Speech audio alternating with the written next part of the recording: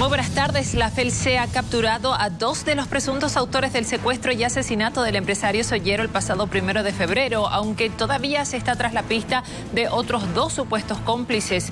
El autor intelectual del crimen sería el padrino de matrimonio del empresario, en cuya propiedad la policía y efectivos del grupo DASI buscaron el cuerpo de la víctima. Aún no fue encontrado, sin embargo, los operativos continúan en la zona norte del departamento. Estamos viendo imágenes del lo que fue el allanamiento de esta propiedad en las últimas horas que eh, obtuvo como resultado la detención de estas dos personas eh, que estarían involucradas en el secuestro y asesinato del empresario Sollero.